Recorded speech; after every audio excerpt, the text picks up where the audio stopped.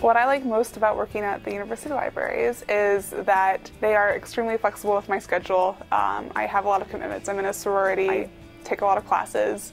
Um, I'm in like a lot of other organizations, so they really work around that for me. And I think it's easily one of the best jobs you can have on campus. I like working at the library, I like working with people. I've met some really interesting people here and it's cool to kind of get out of your comfort zone.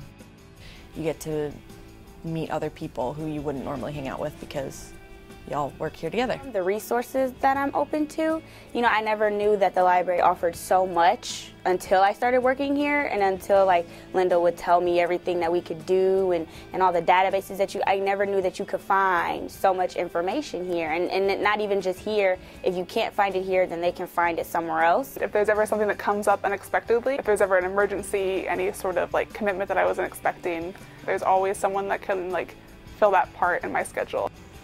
I would probably say that some skills would be working with other people and helping people because a lot of people don't really know how to use the library and I like helping people and they're always really excited when you help them find a book that they've been searching for for an hour and they can't find it.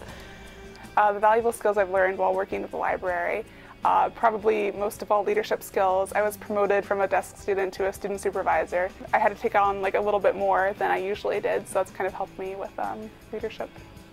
Um, my biggest tip would probably be just utilize the library. It's a really good resource that we have here on this campus and I don't think a lot of students really realize how awesome it really is. So if that was the one, I would just say use the library. Like it's here to help you and it's, it's here and it's designed to do anything that you need. So all you got to do is just come in and visit us. I think of how else to expand on that. Use it. use the library. And that's definitely what I would say.